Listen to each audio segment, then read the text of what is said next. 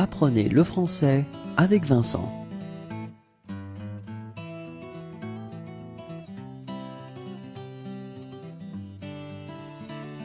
Un joueur de volet.